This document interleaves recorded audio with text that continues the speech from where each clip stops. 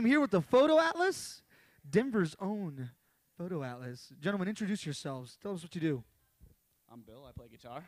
I'm Alan. I sing and play guitar. I'm Nick. I play drums. Yeah. We have a bass player, but he uh, is not in house. So. No in-house bass player. No. It's okay. We don't need a bass. Yeah, we're just gonna, you know, we're gonna make a computer do it from now on. That's good. See, I like that. That's that's one. Downsizing. One. Say say computer two more times, and maybe we'll give you one.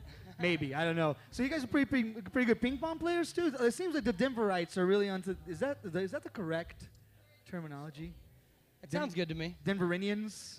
I like Denverites better. Denverites. Yeah, I feel good Sounds about that. tough. Yeah, this this mini ping pong table, I don't know though. It's tricky. You got to imagine you're a giant. Yeah, Soft touch. You got to soft touch it too. you can't overpower it. You know. can't. You can't because you start overpowering stuff, you mess it all up. Yeah. So hey, tell me a little bit about the history of the band. How'd you guys meet? Well, I don't know. We longtime friends. Um, started playing music when we were teenagers, and been through a series of bands. And I don't know. I actually started out playing drums, and then switched over to guitar and singing. And yeah, I don't know. We just kind of buddies that like to play music together. So yeah. How was that transition from drums to, to guitar? Was that pretty easy or no? Um, I don't know. I kind of was learning both at the same time, and there wasn't enough drummers, so I kind of was playing drums. I think by default, but you know, when the time came, it was like, okay, now I could switch over and write my own songs and stuff like that. So So what are you guys working on right now? uh, we just finished uh, recording our second record, and What's the name?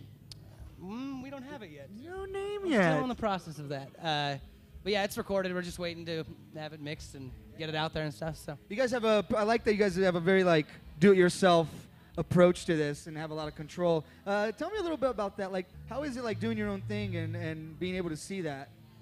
Um, you know, it's just kind of been interesting. Like we kind of from the beginning took the approach that we were just gonna go by our own regimen and just kind of, you know, whatever happens, we're just gonna write music and, uh, you know, hand make CDs ourselves, and you know, like it just kind of was, you know, we just didn't want to worry about business stuff. We just wanted to play music, and you know, we figured if other stuff happens, that's awesome, you know. So. And where can we? Where can the kids go and find your stuff at on the internet? You can check out our website, thephotoatlas.com. How did you come up with the idea for the CD? And if you could explain it a little bit. Well, actually, uh, I saw. I went to a Pinback show, and they were making their tour EPs that way, and I was like, "This is genius. It's simple. You know, we can do it ourselves." So, just started You- making them. You start. Do you have to patch up anybody's clothes? Your shoes, sir, look like They there- could there's use some some patching to be done. Nothing wrong with that, dude. Where do you get the ink over here in Denver? Where's the spot to go to? Uh, I don't have a spot in Denver yet. I got most of it in Phoenix, um, Arizona. I lived there for two years. All right. Looking tough. Prison.